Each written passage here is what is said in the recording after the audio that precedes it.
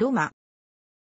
ロマ、ローマ、実説も参照。単数は、ロムは、ジプシーと呼ばれてきた集団のうちの主に北インドのロマニ系に由来し、中東欧に居住する移動型民族である。移動生活者、放浪者とみなされることが多いが、現代では定住生活をする者も多い。ジプシーと呼ばれてきた集団が単一の民族であるとするステレオタイプは18世紀後半に作られたものであり、ロマでない集団との関係は不明である。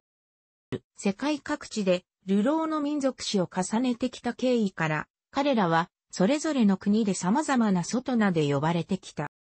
大きく分けて二つの系統があり、一つは、北のジプシーなど、エジプト人に由来する故障。もう一つは、ツンガニ、ツガーニなどの系統の言葉であり、ドイツのカスパー・ポイサーにより、ビサンチン時代のギリシア語から、不可植民、アンタッチャブルへと遡れる言葉であるとされた。以下に、各国語における外名の例を挙げる。各語は一様ではなく、文化により別意の強いもの、そうでないものなど多様なニュアンスのものを含むことに留意されたい。語形については、単数、複数など各種の変化があり得る。現在でもこうした言葉が物乞い、盗人、麻薬の売人などの代名詞のように使われる場合が、ままあり、これらの故障が差別用語として記される傾向もあるが、差別の隠蔽にとどまり必ずしも、差別の解消とはつながっていない。ロマの祖であるロマニ系の人々は、複数の経路でたびたび、インド方面からヨーロッパへ移動してきたと考えられる。14世紀から19世紀に現代のルーマニアにあたる地域で奴隷とされた集団がルーマニアの影響を受けたブラハ系方言を話し言語学的にロマに近いと考えられている。一方で、東欧を開始、中央にたどり着いた集団はルーマニア語の影響のない非ブラハ系方言を話していると考えられている。1971年の第1回世界ロマ会議以降は、よりポリティカリーコレクトな名称として、多くの集団の自称であるロマを故障とすることが提唱された。EU はじめ各国の行政などもこの名称を採用している。ただし、この名は本来彼ら全体を代表するものではなく、この名を使わないグループも多数存在し、彼らの中には、ロマとは異なるアイデンティティを持ち、自分たちはロマではないと主張する者もいる。以下に例を挙げる。ロマと同根のロマニ系の集団としては、ヨーロッパでは、中央のドイツ語圏を中心に、シンティ、イギリスに、ロマニチャル、仏語圏に、マヌーシュ、北欧やイベリアなどのカーレ、東欧のルーマニア語圏に、ロミなどが知られている。シンティの祖先は、パキスタン南東部のシンド地方に起源を持つとも言われる。中近東のロマは、ゾットと自称するが、これはパンジャブ地方の一種族ヤットのアラビア語名である。また中央アジアのローマ話と自称するが、これはムルターンとの関連が疑われている。また、ロマニー語と密接な関係にあると考えられている、ドマリ語を話すドムと自称する集団が中央アジアから北アフリカにかけて分布している。古代インドのサンスクリット語では、株音曲をなりわいとする仮想カースト民を別名と呼んでいたほか、現代インドでは、ヒンディー語がさすらいの音楽家のカーストを、パンジャブ語では、ドゥロー音楽家をそれぞれ、ドムと呼んでおり、これらが、ロム、ロマという名称の起源と考えられている。ロマの間ではロマ以外の人間をガージョと呼ぶ。ロマの人種的分類については、現在でも定説が存在しないため、厳密にどの人種に分類できるかは、未だに判明していない。歴史的経緯をたどると、ロマは西暦1000年頃にインドのラージャスターン地方から放浪の旅に出て、北部アフリカ、ヨーロッパなどへとたどり着いたとされる。旅に出た理由は定かではないが、西方に理想郷を求めた、などの説がある。彼らがヨーロッパにおいて、資料上の存在として確認できるようになるのは15世紀に入ってからで、ユダヤ人と並んで少数民族として迫害や偏見を受けることとなる。ただしユダヤ人ほどこの事実は強調されていない。最新の遺伝子研究ではインド先住民のドラビダ人との類似性が示唆されてきている。ロマの中にも12の種族があり、エリー、カルデラーシュ、ジャンバジ、ロワイ、アラバジ、コバチ、トパナなどの名称があり、種族により異なったロマ語を話している。これらの種族の起源は職業集団に始まっている。すなわち、トパナはトルコ語のトップ、大砲に由来し、14世紀にトルコの兵士としてバルカン半島に移住し軍隊で大砲を作っていたロマの末裔。ジャンバジはギリシアから来た商人。アラバジはルーマニアの馬商人。エリーはアーリア人に由来するという。インドヨーロッパ語族インドイラン語派中央語群のロマ語を主に使う。ロマ語の特色として、即物的な語彙が多く、精神的、抽象的な語彙が少ないことが挙げられる。ロマ語には、東欧のロム、ポーランド経由でドイツに入ったシンティ、フランスのマヌーシュなど3つの大きな流れと13の言語グループがあり、系統が違うと同じロマ語でも意思疎通が難しいとされる。また、定住した各土地の言葉や各地の言語を多く取り入れたクレオール言語を使っているグループもある。このため1990年4月にワルシャワで開かれた第4回世界ロマ会議で標準ロマ語が制定され、マケドニアのスコピエで話されるエリー語が標準語となった。かつてはヒンドゥー教だったと考えられているが、定住した土地での主流の宗教に改宗していることが多い。すなわち、東ヨーロッパでは、東方正教会、カトリック、または少数のイスラム教、西ヨーロッパでは、カトリックかプロテスタントである。独特の神秘主義的な風習はあるが、それは宗教とは別と考えられている。ロマ出身のロマ研究家で人権活動家のグラタン・パクソンによると、ロマの起源は5世紀に遡る。サーサーン・アサ・ペルシアのバフラム5世、別名ベラムグール、在位420年から438年が、ムルタン、当時はインド、現在のパキスタンから、ロマの祖先1万人をペルシアに連れて行った。ロマは当時、ルリーと呼ばれていた。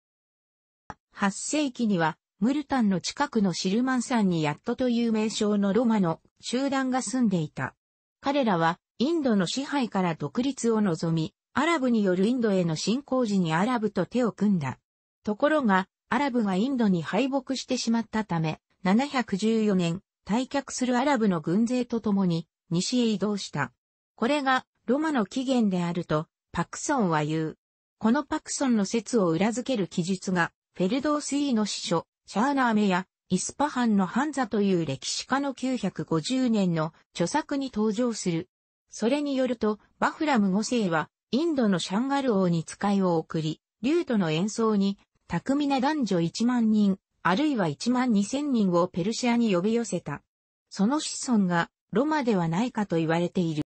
また、ロマ出身のロマ語学者、シャイプ・イスフォフスキーによると、ロマの祖先は、インドのラージャスターン州に住んでいたが、タタール人に追われたのと、食料を不足とで5世紀に1万2千人が故郷を捨てて旅に出た。さらに10世紀にも西に集団移動し、バルカン半島に入ったという。伊藤千尋はユスフォフスキーの説をより真実味が深いと評し、この説におけるタタール人を中央アジアのイラン系遊牧民エフタル族、別名、白粉族、5世紀半ばにインド北西部に侵入と同定している。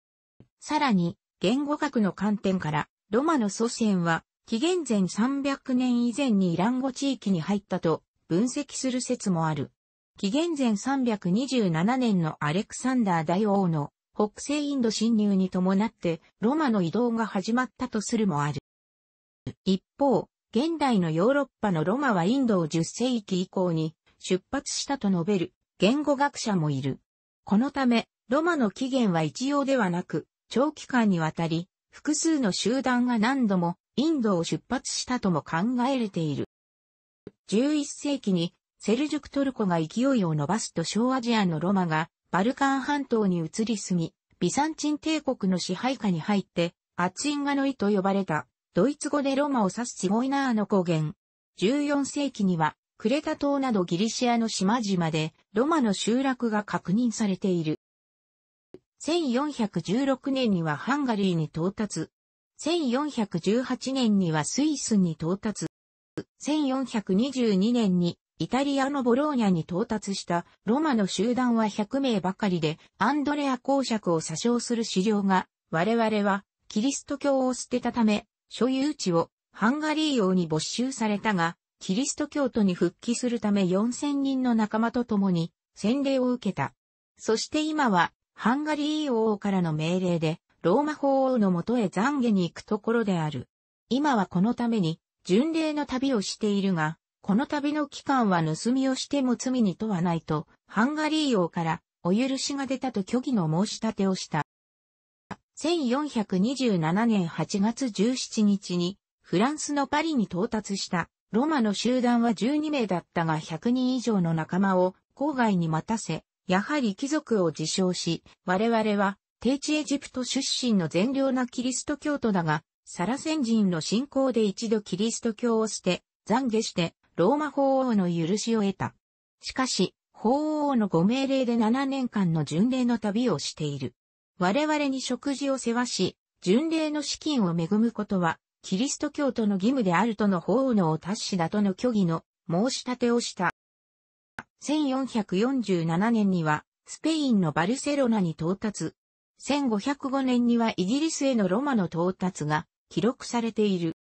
初期のロマは、神聖ローマ皇帝、ジギスムントにより巡礼者として、帝国全土の自由な通行を許可されたと称し、いわゆる皇帝ジギスムントの特許上を保障として各地を放浪した。しかし15世紀中頃には彼らに対する別紙が始まり、特にユダヤ人と彼らを同類とする風説が現れ、18世紀に至るまで広く流布した。1500年には神聖ローマ皇帝マクシメリアン一世によって皇帝ジギスムントの特許上は無効であるとされ、ロマを殺しても基本的には罪に問われないこととなった。ロマが放浪する犯罪者の温床と考えられ、都市では彼らが現れたら教会の鐘を鳴らして合図し、排撃した。1499年にはスペインがロマの入国を禁止し、国内のローマは4日以内に退去するか、60日以内に定住して主人に仕えなければ、無知だの刑にして追放するとの直令が出た。16世紀半ばには、イギリスの各地の地方自治体もロマに退去命令を出した。1561年には、フランスのシャルル6世がロマを2ヶ月以内に、領土から追放するよう命令を出した。この命令に従わないロマは頭髪を剃り落とされ、罪人として、晒し者にされ、ガレー戦の宗主として3年間の重労働に服さなければならなかった。1596年にはイギリスで放浪中のロマ196人が捕獲され、うち106人が死刑の宣告を受けた。このうち9人が実際に死刑となり、残りは出身地に連れ戻された。1714年にはドイツでマインツの大司教がロマに対して裁判抜きの処刑、無知だ、追放、重労働を命じた。1761年、オーストリアでは、マリア・テレジアとヨーゼフ2世の近代化政策の一環として、ロマの定住化が図られた。ロマの青年に対して、徴兵や職業訓練を行うとともに、領主への従属や納税の義務を課し、ロマ同士の結婚を禁じ、ロマの子はロマではない家庭に入れて育てることとした。これらは啓蒙主義に影響された、ある意味で、ロマへの差別をなくすことを目的とした人道的な同化策だったが、定住やヨーロッパ人の考える文化的な生活の押し付けとなり、ロマたちの拒否するところとなった。1773年に、プロイセンのフリードリヒ大王がロマを隔離して定住させようとしたが、結局失敗している。一方、ポルトガルは1647年にはアフリカの植民地に、1686年には南米の植民地ブラジルにロマの開拓団を送った。イギリスも植民地のアメリカやジャマイカにロマの開拓団を送っている。ドイツにおいてはナチス党が自由選挙で国民の支持を受けて政権を獲得した後の1935年に、ロマを列島民族とみなす法律が施行された。ロマの選挙権は剥奪され、広間との結婚禁止、商売の禁止、学校入学の禁止、ドイツ国内での移動禁止などが主な内容である。その後ロマは強制移住や強制労働政策の対象となり、収容されたロマには、優生学的な観点から強制的断種手術が行われた。当時のドイツ政府は、ロマがアーリア系であることは知っていた。アーリア主義を掲げるナチス党政権がロマ撲滅を図ったのは、ロマがドイツ人と相入れない生活習慣を持つため、アーリア系の面汚しであり、劣った異民族の血が混じっているに違いなく、放置すれば、ドイツ人の血が汚されると考えたためである。第二次世界大戦により、ドイツの占領地域が広がると、ドイツは再び多数のローマを抱え込むことになった。当時のドイツ政府が最終解決策と呼んだ政策で、ロマはユダヤ人のホロコーストと同様に虐殺の対象とされた。これは、ポライモスと呼ばれている。正確な数は不明であるが、戦争中に約50万人のロマが殺害されたとされる。強制収容所への移送を待たずに、現地で殺害された者も多かった。ナチス親衛隊特別行動部隊、アインザッツグルッペンが東欧の占領地域に派遣され、ユダヤ人、共産党員、ソ連軍捕虜と共に多数のロマが殺害された。ドイツ政府による被害に伴う戦後保障について、現在もロマはユダヤ人より不利な扱いを受けている。第二次世界大戦までの多くのヨーロッパ諸国では、ロマは固定した店舗で開業することは禁止されていた。このため、伝統的に鍛冶や金属加工、工芸品、旅芸人、占い師、薬草販売等に従事していた。現在も基本的に移動生活を続けているロマは多く、移動手段として自動車を用い、これに伴って、職業も以前の馬の売買から自動車の解体、中古車の斡旋などに変化してきている。1971年には、インド政府と世界協会協議会の支援を受けて、ヨーロッパ諸国のロマを集めたが結成された。第二次世界大戦前から1945年までのドイツ政府による迫害によってロマの人口は減少した。社会主義体制となった東欧とソ連圏では、ロマの労働者化を進めるために移動禁止令が制定された、連1956年ポーランド1964年。これらはロマに定住を求める同化政策であり、その後議員となったロマも存在した。西欧諸国では、ロマへの同化政策は採用されなかったが、国内のロマを少数民族と認めて、権利を与えることはなかった。例外的に社会主義国のユーゴスラビア、1974年とハンガリー、1979年がロマを少数民族と認定した。戦前に対して安定した生活が保障されたこれらの社会主義国が崩壊して資本主義国となってからは職を失い、無料の住宅や学校がなくなったとして不満を持つロマも少なくない。スイスでは1926年から1972年まで政府の支援を受けた民間団体青少年のために合1000人以上の子供のロマを親元から誘拐し、施設に収容したり、スイス人の家庭栄養士として引き渡したりした。ドイツでは1995年にドイツ国籍を持つロマを少数民族と認定している。グローバリゼーションや大量生産大量消費文化、安価な製品を使い捨てる非行動への移行、情報化社会や物流の高速化など、戦後の経済変動の中で、ロマの制御は成立しなくなり、ロマの経済的な困窮は一段と進んだ。テロリズムへの懸念などから、国の保安の意識が高くなったことで国境を越えた、自由な移動がしづらくなり定住するようにとの圧力がかかっていることもあって、伝統的な生活を放棄する者も多い。1990年代の一連のユーゴスラビア紛争では、ロマが迫害の対象となることも少なくなかった。1999年のコソボ紛争では、彼らはセルビア人、アルバニア人の双方から迫害を受けている。コソボでは多数派のアルバニア人による支配を恐れたロマやアッシュカリーなどのほか、ゴーラ人などの少数民族の中には、ユーゴスラビアの体制を支持する者も少なくなかった。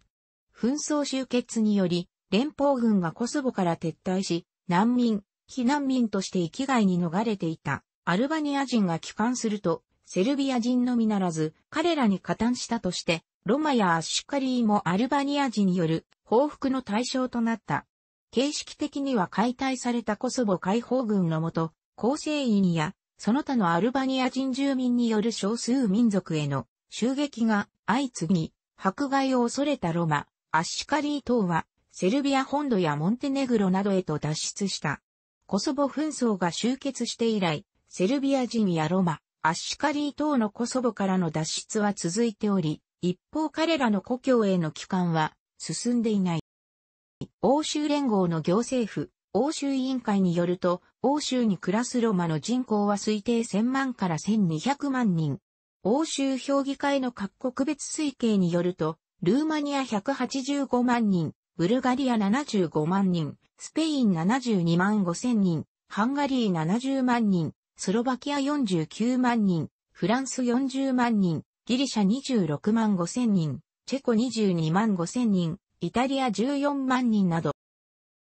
マケドニアのには2万6千人のロマが定住し、マケドニア人の家は10個しかなく、他にトルコ人などもいるものの、全人口の95%はロマである。旧ユーゴスラビアには100万人、マケドニアだけで20万人のロマがいるが、ロマにはホームレスが多いため、自らの出自を恥じて、トルコ人やセルビア人、マケドニア人などと詐称するロマが多く、統計上は旧ユーゴスラビアのロマの数は10万人にとどまっている。なお、マケドニアからは、ロマ出身の国会議員が出ており、ロマ語を公用語にする運動を進めていた。ルーマニアにおけるロマに対しての差別は根深く、結婚、就職、修学、転居などありと、あらゆる方面にて行われている。しかしその起源は、いずれの説も根拠を欠いたものが多く、現在でも定説はない。ルーマニア国内のロマ支援組織の多くは19世紀半ばまで約600年間続いた奴隷時代にその根源があると主張している。それによると、1800年代の法典はロマを生まれながらの奴隷と規定し、ルーマニアの一般市民との結婚を認めなかった。そして、奴隷解放後も根深い差別のもとで、ロマの土地所有や教育は進まかった。都市周辺部に追いやられたロマは独自の文化や慣習を固守する閉鎖的な社会を築き、差別を増幅させる悪循環につながったとされている。その一方で、当時そのような法典が交付及び施行された記録が残されておらず、法典自体も見つかっていないため、この説は根拠に乏しいとする見解も存在する。ロマを生まれながらの奴隷と規定した法典は、ロマ支援組織が差別の根拠として鉄造したもので、奴隷時代の始まりとされる13世紀以前から、すでに習慣という形で、ルーマニアでのロマ差別は存在ていた、という見解を支持している。ルーマニア国外のロマ支援組織やロマ研究者は多い。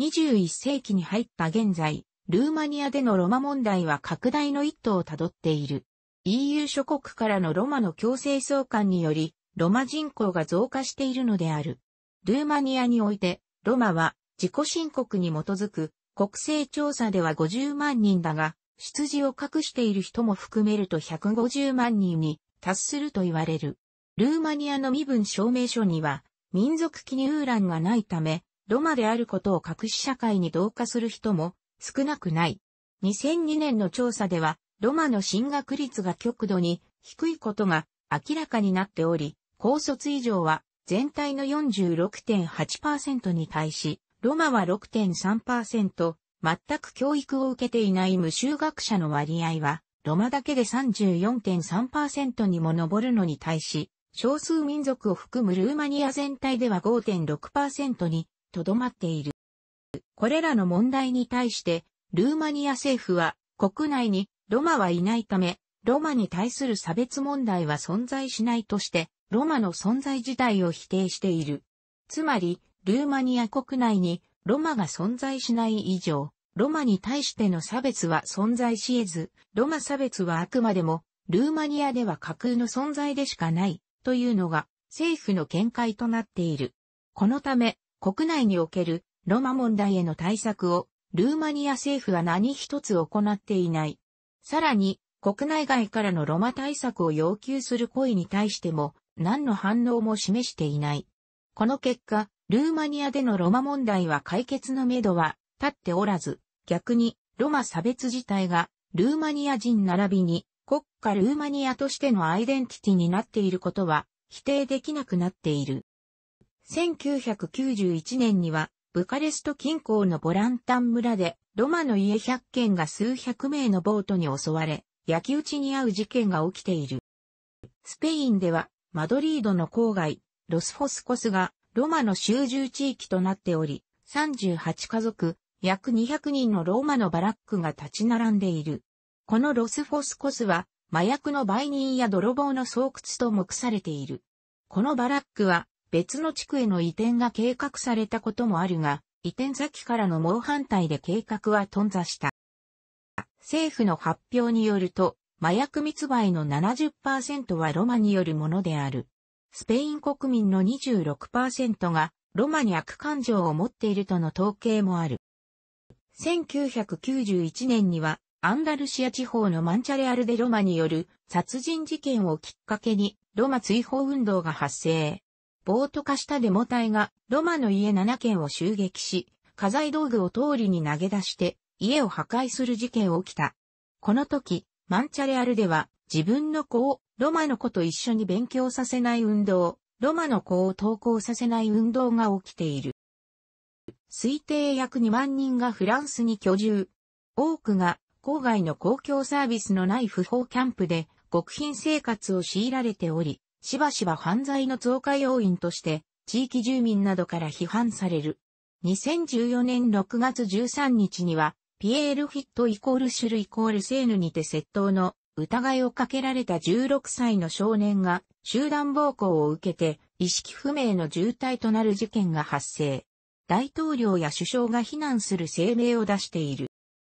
アメリカでのロマは大きく分けて3つのグループがある。最も早く入植したグループはイングランドから移住したロマニチャルで、テキサス州を中心に8の10万人が全米に散らばっている。イギリス流文化への同化が浸透しており、言語も英語の中にロマニ語の語彙が混ざるという程度である。次のグループが1880年代以降にバルカン半島、ハンガリーから移住してきたブラフ系ロマである。ロマニ語の新ブラフ系方言を使い、独自の絶対神信仰を持つとも言われ、全米に50万人以上いると推定されている。最大集団であるブラフ系ロマは強固なアイデンティティを持ち、クンパニアという血縁、支援による排他的な組織の中で生活している。福祉給付など行政制度を徹底的に利用することが彼らの戦略である。第3のグループは、ロマニ語方言を話さない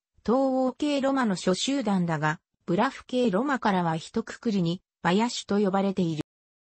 ブラフ系ロマ以外のグループは社会に溶け込む術を身につけており、アイデンティティを秘匿する傾向にある。アメリカには100万人のロマがいると推定されているが、各グループは相互の接触には消極的、もしくは否定的であり、グループ間の同族意識はない。ロマの文化、芸能、生活の一部であるロマ音楽は現地の文化と相関関係にあり、歴史的に大きな貢献をしている。ルーマニア・ハンガリー文化圏、スペインなどの文化が際立って有名。ロマン派の作曲家の中には、ロマ音楽に触発されて曲を書いた者もいた。リストのハンガリー教師曲、ブラームスのハンガリー舞曲、発表当時は変とされ、また、ハンガリー古来の音楽と混同されたサラサーテのチゴイネルワイゼンなどである。毎年2月の満月の3日間、ロマ人の出身地とされるインドのジャイサルメールで行われるロマの祭典である。いろいろな旅芸人などが集まる。古典に類する作品には、古い固定観念、偏見が含まれている可能性もある。楽しくご覧になりましたら、購読と良いです。クリックしてください。